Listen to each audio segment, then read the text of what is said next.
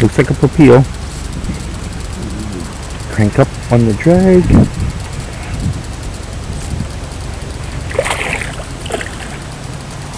And bring it up.